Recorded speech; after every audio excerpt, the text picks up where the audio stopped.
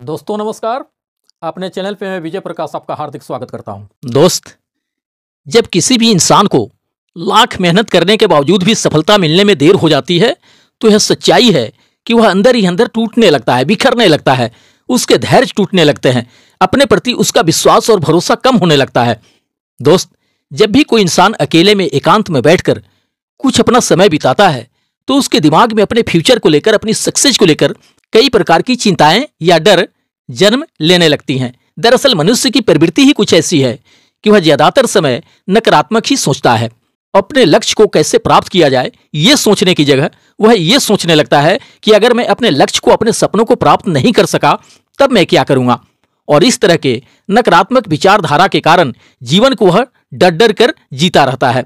अगर पूरी सजगता और बुद्धिमानी के साथ इस डर का, इन चिंताओं को समझा नहीं जाए तो यही डर और चिंताएँ इंसान के पतन का, उसकी असफलता का कारण बनता है।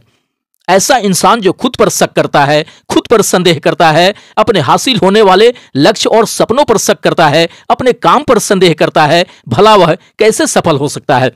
लेकिन बुद्धिमानी से इस डर का उपयोग किया जाए तो यही डर उसकी सबसे बड़ी ताकत बन सकता है। काश वह अपने आप पर एक बार पूरे दिल से विश्वास कर ले तो उसे इस बात का एहसास हो जाएगा कि उसके डर में ही उसके ताकत का रहस्य छुपा हुआ है। दोस्त, शाम का समय था। एक सन्यासी और एक लकड़हारा घने जंगल के रास्ते गाँव की तरफ़ निकल रहे थे।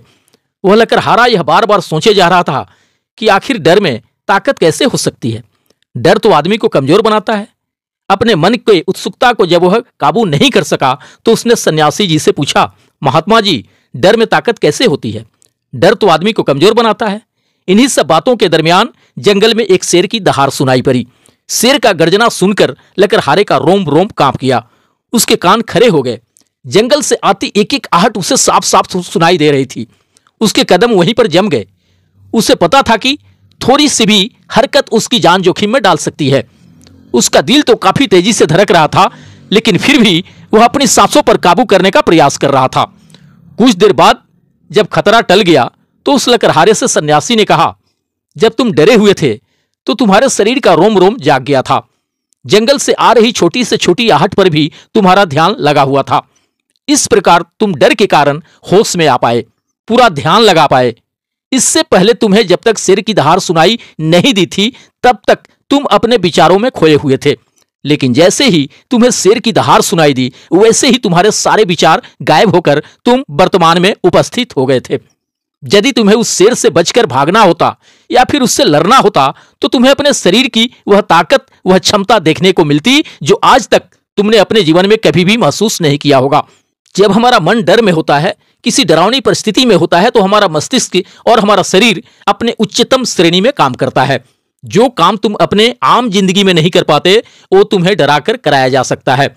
जहाँ पर भी तुम्हें किसी डर का एहसास होता है, वहीं पर तुम्हारी इंद्रियाँ पूर्ण रूप से सक्रिय हो जाती हैं। तुम्हारे कानों के सुनने की क्षमता तेज हो जाती है, दृष्टि एकटक हो जाती है, पूरी तरह से सजग हो जाती है, सक्रियता बढ़ जाती है।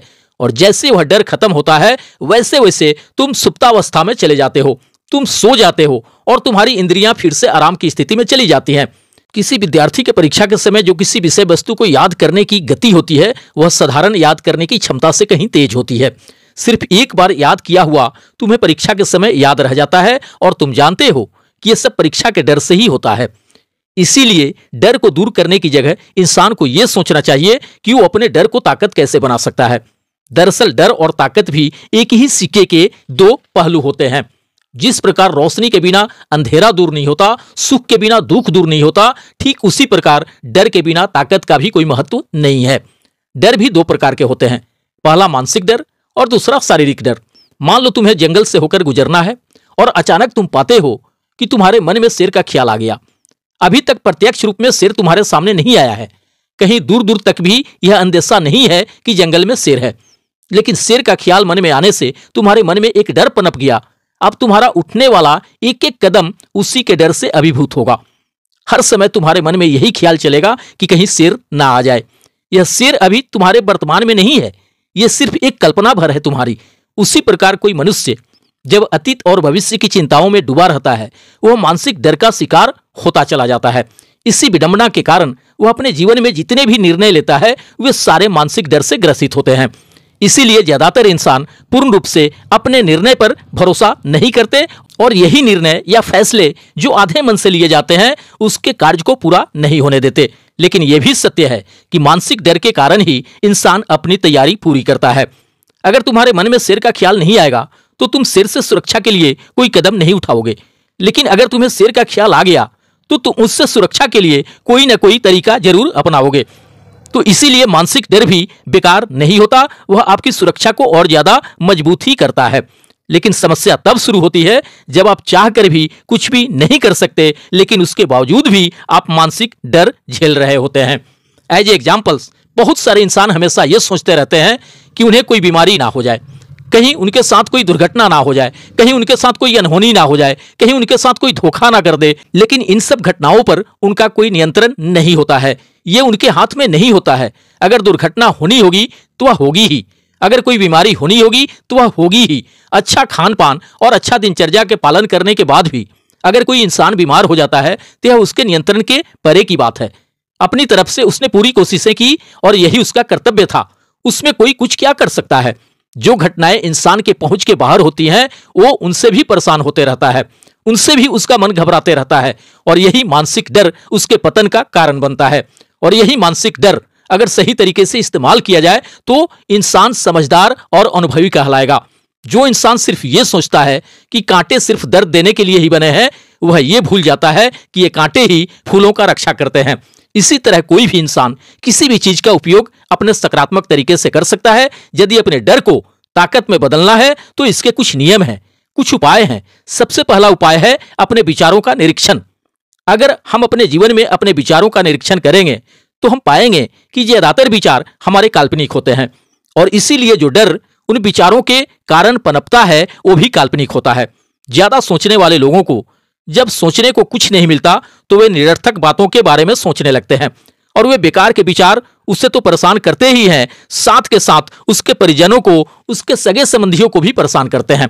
इसीलिए ज़्यादा सोचने वाले लोगों को यह समझना चाहिए कि मन में उठ रहे तमाम विचारों में से काम के विचार कौन से हैं और बेकार के विचार कौन से हैं। जो निरर्थक विचार हों, उन्हें दूर करते जाओ और जो सार्थक विचार हों, उन्हें गहराई से सोचना शुरू करो। तभी तुम्हारी समस्याओं के, तुम्हारे उलझनों के उपाय निकलेंगे। अपने डर को दूर करने का दूसरा उपाय है उसका सामना करना। उसका मतलब यह नहीं हुआ कि आप शेर के सामने जाके खड़े हो जाओ, बल्कि इसका मतलब यह है कि पूर्ण सुरक्षा के साथ आप जंगल के रास्ते जा रहे हो।